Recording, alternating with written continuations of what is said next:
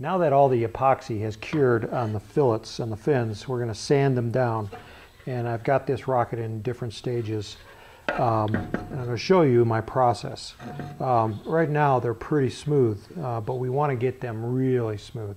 So the first thing we're going to do is we're going to take a wood dowel and I've glued sandpaper to this dowel and this is a half inch wide dowel, half inch diameter dowel. And I've got two different grits. I got a rough grit, probably about 180 grit, and then a finer grit, probably maybe about uh, 200 something.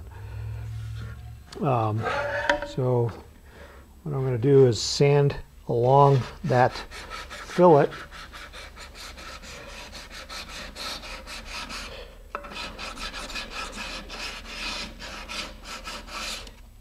And as you can see, when I sand there, it's leaving uh, dark spots and light spots. The dark spots is unsanded and the light spots has been sanded. And you want to get it nice and uniform.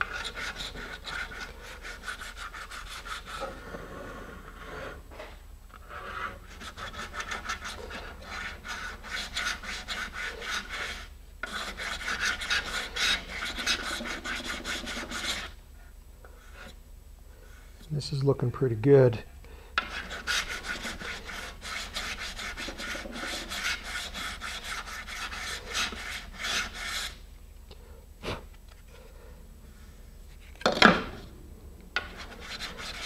You see I've switched to the finer grit sandpaper.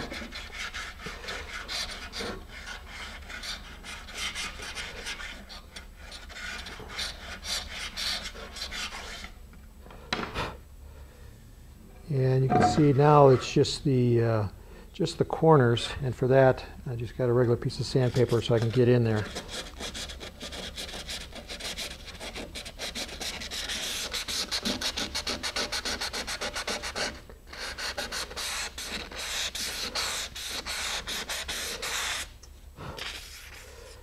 Okay, now it's usually just the edges um, that have little gaps in them. And to seal that down, I'm going to use some uh, Elmer's Carpenter's Wood Filler. Um, this is a, a paste that comes in a tub and it's kind of thick like butter. Um, and I just got a little container here. And I'm just going to take a dollop of it, put it in there. The, the nice thing about this stuff is it's water soluble means you can thin it out with water. And I got a little glass of water here. And I'll just pour a little bit in there and stir it up. And you want to make this really eh, thin to medium thin. And, and I've got it really thin here. And if it gets too thin, you can always add more.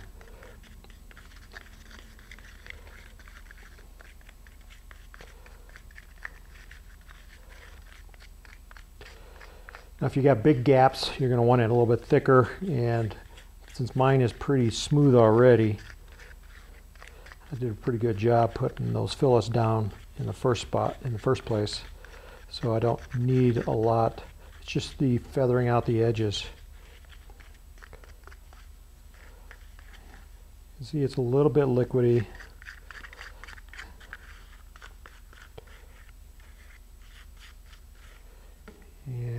Have some paper towels available. Wipe that off. And I've got a paintbrush here.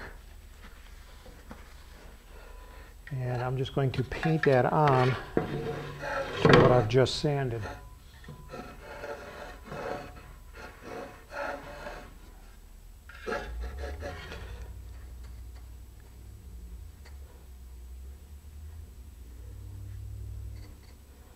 And I probably got this a little bit too thin but you can always add more.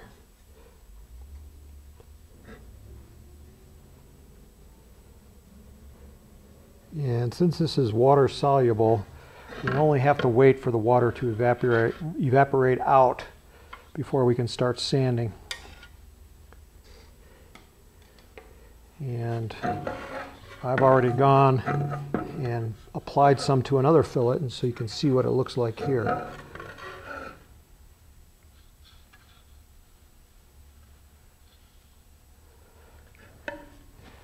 And while I'm going to do that, I'm going to clean my paintbrush.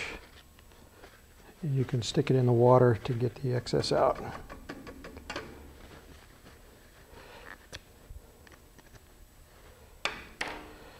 Okay, next thing is to sand this, and I'm going to stay away from the dowels now. I'm going to switch to a, a fine grit sandpaper on a sanding pad. Um, and, and this wood filler is non-structural. It doesn't add anything to the strength. The strength is all in the epoxy. And it sands really fast.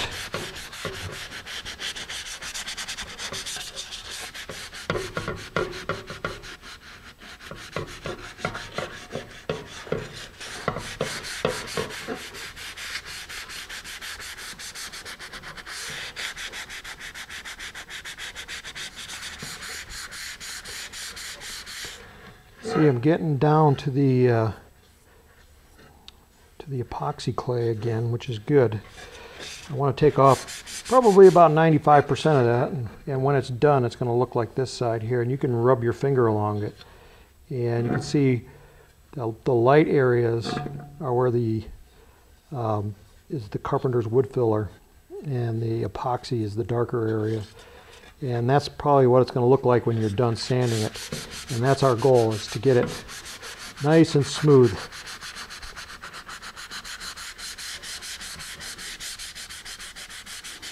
And it really is just about feathering out those edges. And so when you're done, it's going to look just like that.